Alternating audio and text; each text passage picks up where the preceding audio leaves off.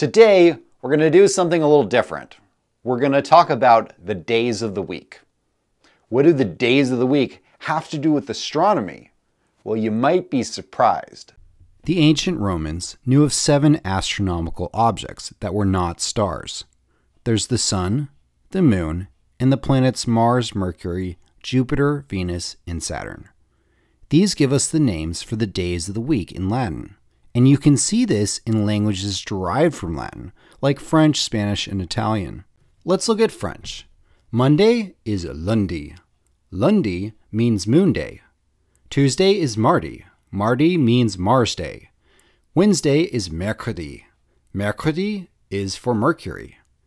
Thursday is jeudi. Jeudi means Jupiter's day. Friday is vendredi. Vendredi means Venus's day.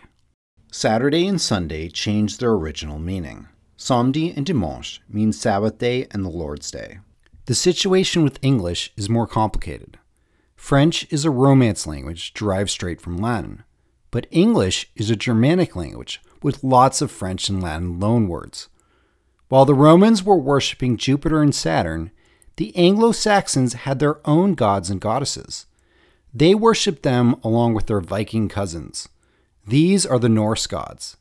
So, to understand where our days of the week come from, we have to translate from Roman gods into Norse gods.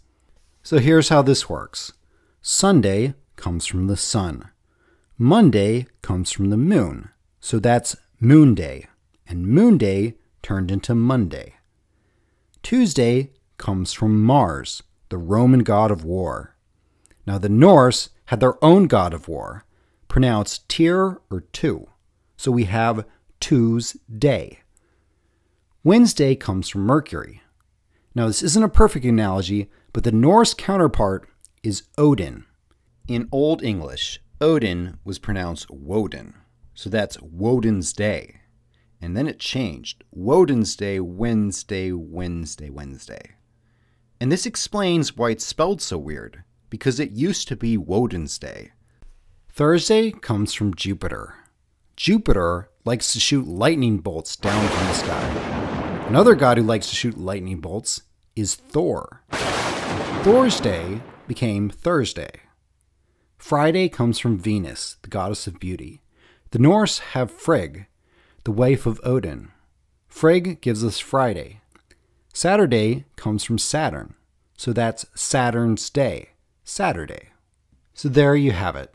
We have Sunday, Monday, Moon Day, Tuesday, Tiw's Day, Wednesday, Woden's Day, Thursday, Thor's Day, Friday, Frigg Day, and Saturday, Saturn's Day.